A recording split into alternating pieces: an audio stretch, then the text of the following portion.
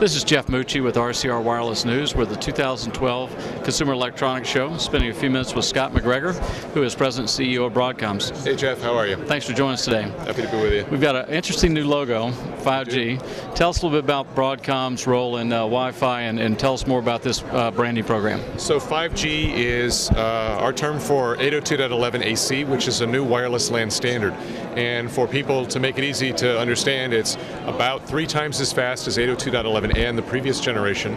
Um, it's about twice the range and it's lower power. So we believe this will be uh, the predominant thing that will go into access points, into consumer devices, PCs, and next year into things like phones because, uh, again, the lower power is very attractive for phones.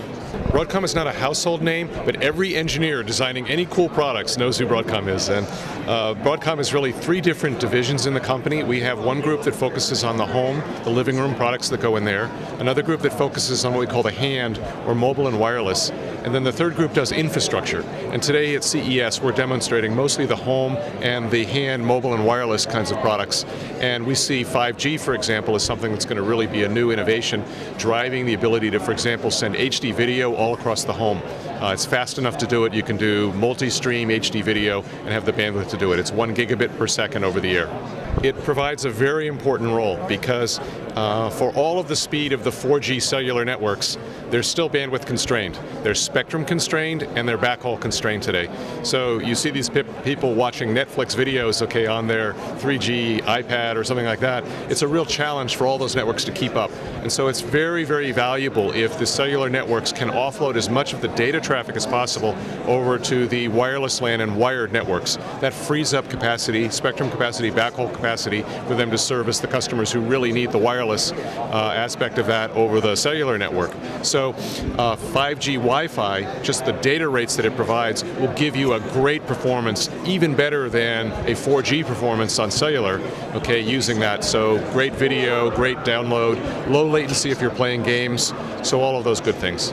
Well, CES for many years was about who could build the biggest TV set, and or who could build the loudest car audio system, and you know the thumping cars. And I think really this year it's about connecting people to content. And so gone are the who has the biggest TV set now is who has the smartest TV set. And smart usually means connected to the internet, it means connected to other devices, uh, available uh, content. Uh, so those are the kind of things we see at the show, and Broadcom really fills that role. In fact, we say that what you see in this booth here at Broadcom this year is what's going to be hot at CES next year. Okay, so these are the chips that will get built into the products over the course of the next year to enable connectivity. Uh, we talked about 5G wireless. Uh, we're showing new kinds of video technology, new location-based services. On the home side, we're showing all kinds of satellite and cable improvements for faster channel change, more channels, uh, connecting to tablets uh, for your content, Slingbox-like functionality, those kind of things. Broadcom has about 10,000 employees, and we hired well over 1,000 people last year, uh, and well over 1,000 the year before. Uh, we expect to continue to hire. Uh, wireless is hot, a lot of the connectivity areas are hot, communications in general is a very strong field, and Broadcom is also doing well and we're taking market share. So all of this have enabled us to outgrow the market dramatically over the last several years, and so you know that enables us to create great new products. We invest a lot in R&D. We'll invest about $2 billion in R&D this year okay, developing the kind of products you see here in our booth at CES. Broadcom is a market share leader in many markets. Uh, we're market share leader in wireless LAN, in Bluetooth, um, in all kinds of areas in set-top box and infrastructure. So we take it for granted, you know, a lot of how these systems connect, and they connect over internet backbone with fiber optic cables and switches. Uh, we're number one in all those spaces. So many different areas. Scott, thanks for joining us today. Thank you very much.